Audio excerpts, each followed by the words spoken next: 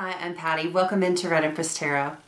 I'm an intuitive a healer and a tarot reader, and I'm a twin flame myself. I specialize in the twin flame journey, and I'm here bringing you this twin flame 101 video on ascension.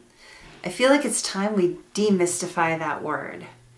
Um, I know that a lot of the times when we come on to a spiritual journey like the twin flame path, um, we don't always know some of these terms, and it can be a lot. It can be a little bit daunting.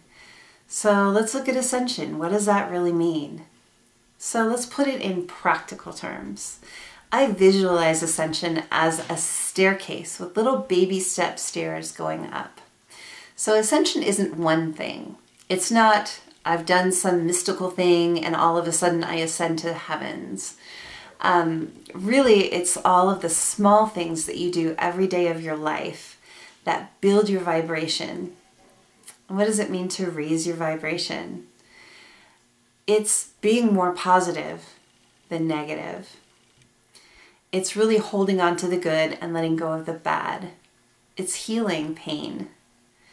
It is um, becoming more compassionate for yourself it's becoming more compassionate for other people, for your twin, for the people around you, for the world around you. Um, every time you do these things, you ascend just a little bit more. Your vibration raises just a little bit more. So you can visualize that staircase as a different vibration. You can assign it numbers if you want to. it's just literally going up and up and up a little bit at a time, baby steps when you ascend, you heighten your intuition. You start to really comprehend the messages that we get from Spirit or Source or God. Um, however, you want to term the universe that brings us those messages, it's where we come from and where we go back to later.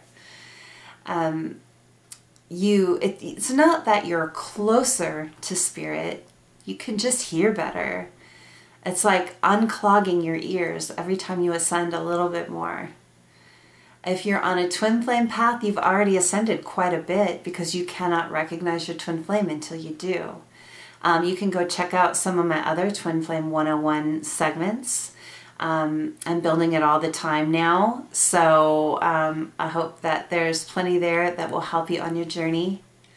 Thank you so much for being with me here today. I hope that you understand a little bit more about Ascension and just this little nugget of information um, will do something good for you going forward in your journey. All right, I'll see you next time.